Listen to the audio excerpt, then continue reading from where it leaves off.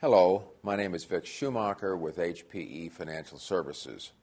Today we're going to ask the question how do insurance companies measure, measure risk?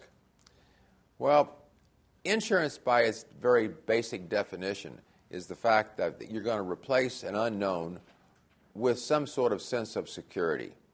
Insurance companies will hire mathematicians called actuaries, and those actuaries determine the amount of risk that will take place in an event happening or not happening. Based upon what they come up with, that risk factor is determined. Sometimes it's high, sometimes it's low, based upon the odds.